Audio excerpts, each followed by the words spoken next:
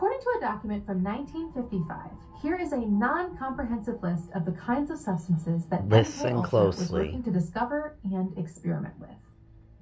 Number one, substances which will promote illogical thinking and impulsiveness to the point where the recipient would be discredited in public. Number two, substances which increase the efficiency of mentation and perception. Number three, materials which will prevent or counteract the intoxicating effect of alcohol. Number four, materials which will promote the intoxicating effect of alcohol. Number five, materials which will produce the signs and symptoms of recognized diseases in a reversible way so that they may be used for malingering. Number six, materials which will render the induction of hypnosis easier or otherwise enhance its usefulness. Number seven, substances which will enhance the ability of individuals to withstand privation, torture, and coercion during interrogation and so-called, quote, brainwashing. Number eight, materials and physical methods which will produce amnesia for events preceding and during their use. Number nine, physical methods of producing shock and confusion over extended periods of time and capable of surreptitious use. Number 10, substances which produce physical disablement, such as paralysis of the legs, acute anemia, etc. Number 11, substances which will produce, quote, pure euphoria with no subsequent letdown. Number 12, substances which All alter personality structure in such a way thought. that the tendency of the recipient to become dependent upon another person is enhanced. Number 13, a material which will cause mental confusion of such a type that the individual under its influence will find it difficult to maintain a fabrication under questioning. Makes Number sense. 14, substances which will lower the ambition and general working efficiency of men when administered in undetectable Definitely amounts. makes Number sense. 15, substances which promotes weakness or distortion of the eyesight or hearing faculties,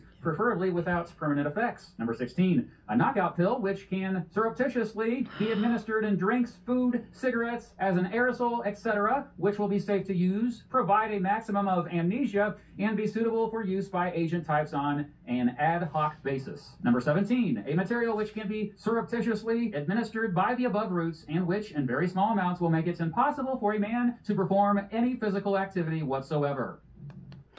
Okay, so notice the main words substance, material, and physical mind control. That's in almost everything.